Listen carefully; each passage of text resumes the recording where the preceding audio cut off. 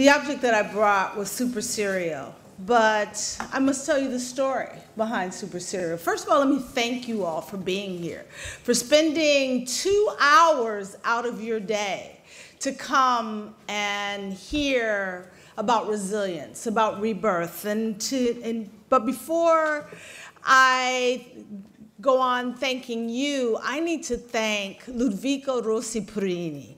Those of you who know Ludovica know she is know that she's a force of nature. And she had this idea that we should have this conversation here in Rome about rebirth and resilience and the opportunity to make a difference that we all share. And when Ludovica has an idea, things happen. And here we all are today. I, we all come here with different stories, and we each bring contributions that are different. Uh, but we are united. All the speakers here today, you'll hear a united commitment to tackle global problems, to make a difference, to build resilience. Because as a, as, and I speak very particularly because I do run the World Food Program, but really there are 14,000 people around the world who are working to make a difference in the lives of hungry people. And one of the areas that we are focused on is how do we provide the nutritional inputs that are necessary for the first thousand days of a child's life, which will not only determine the quality of that child's life, but whether that child will have the mental and physical resilience to withstand and overcome life shocks and crises. In fact, we know that nutritional deficiency in the first thousand days will create irreparable mental and physical development. We know that to break the intergenerational cycle of poverty, hunger, and food insecurity, we must address the challenges of meeting the nutritional needs of pregnant and breastfeeding women and meet the needs of nutrition that children under from six months to two years of age. Today, we as a global community are failing 165 million children around the world suffering from chronic malnutrition. So today, I have brought a very important item with me. It is a one and a half kilo bag of Super Cereal Plus. Last year, thousands of small bags and special foods, just like this one, helped to change the lives of more than 4 million children. Following years of research, committed staff from WFP and its partners developed this fortified blended food. This super cereal is packed full of vitamins, minerals, and fats that can both prevent a child from stunting and support the acute moderate malnutrition needs of a child. Yes, I have witnessed mothers from across the world preparing this cereal into a wonderful and nutritious porridge, which their beautiful children so urgently need and deserve to reach their full potential. Ladies and gentlemen, this bag full of promise, this bag that builds resilience of those children costs just $2 and provides the needs of one child for one week. This one bag will create the resilience necessary to support a child's opportunity for a better life. To achieve a global rebirth, we must end global hunger and chronic malnutrition. To achieve a global rebirth for the world's poor and most vulnerable, we must also build their resi resilience, inoculating them from shocks and crises, ensuring their ability to sustainably and durably feed themselves and their children. Where there's hunger, there is insecurity. Where there is undernutrition, there is underdevelopment. Failure to make a progress on food and nutrition security will undermine all of our development efforts. And making this progress is as much or more an issue of economics as it is of one of welfare, social protection, and human rights. To tackle this problem, we need to work in many different ways we must respond with activities that both build the immediate and long-term impacts, building resilience from the bottom up. We must tackle the root causes of hunger and the root causes of malnutrition, not just the consequences. We must determine if the hunger problems arise from lack of available adequate food or from lack of access to adequate nutritious food. Last year, WFP worked in 80 countries, helping the most vulnerable meet their food needs. Yes, we provided foods to those in need. In many places around the world, we also began the difficult but necessary work of helping many rural families begin the difficult but not impossible journey towards building their capacity to feed their own children.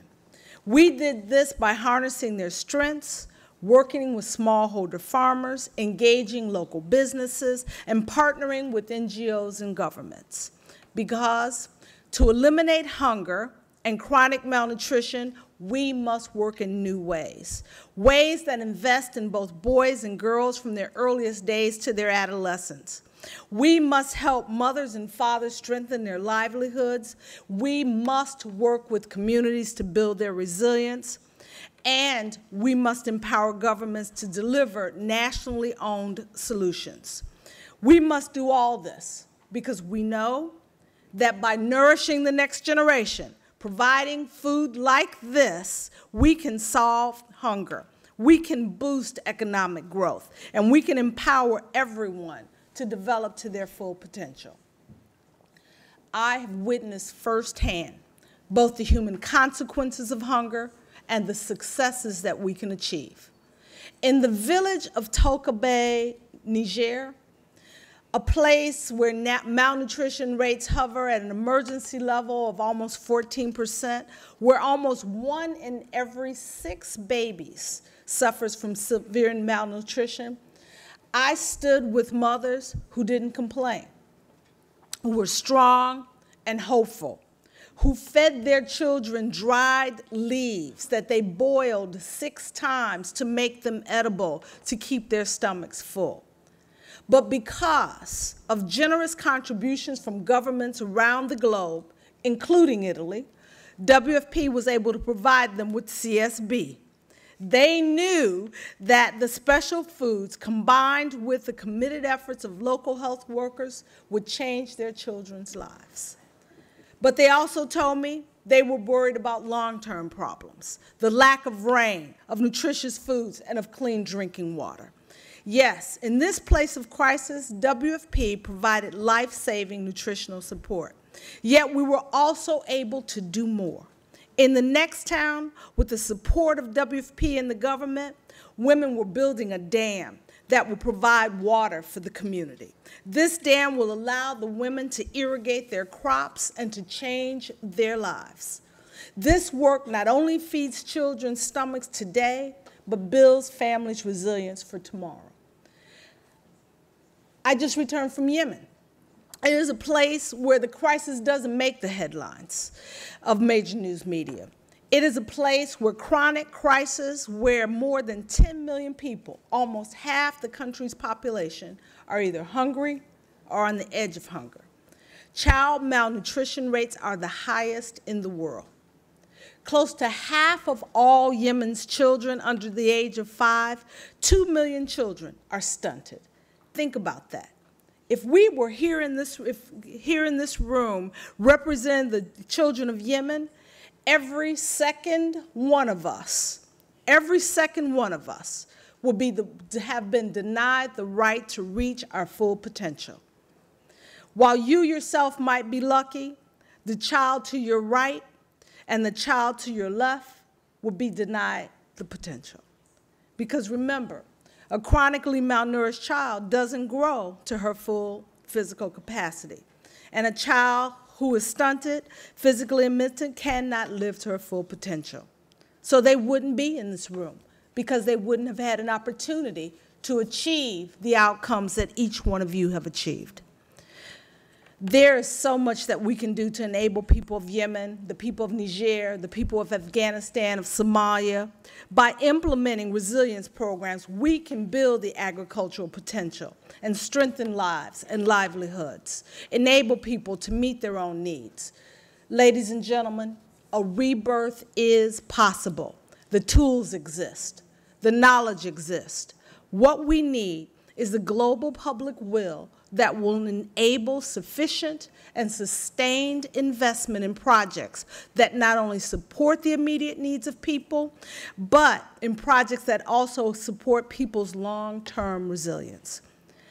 And I think there is no better place on earth to create and blossom the idea of building global resilience than here in Rome a global public will led by a Rome rebirth of a spirit to build global resilience.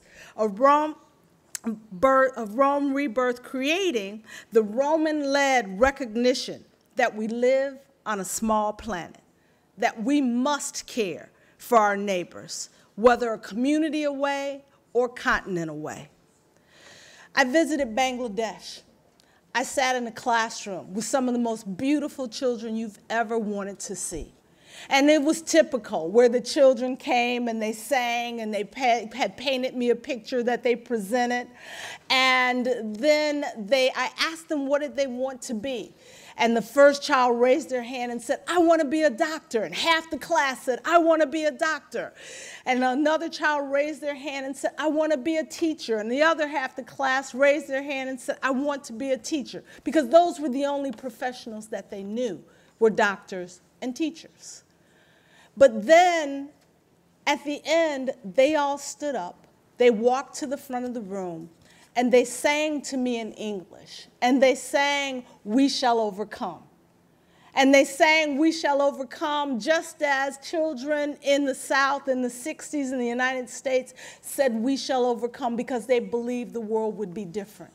These children believed their world would be different because we were there. They believed that their tomorrow was going to be better because what we would bring. They believed that their opportunities would help, would be changed because we would care enough. Working together, we have the ability to establish powerful partnerships that can change the global landscape from one of hunger to one of hope. Country by country, community by community, family by family, child by child, until no one goes hungry. Thank you all. Can I keep the Yes.